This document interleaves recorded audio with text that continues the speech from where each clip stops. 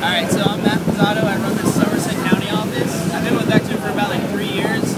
Um, I love working with Vector, by the way, especially because these trips go to Hawaii, Jamaica, Puerto Rico.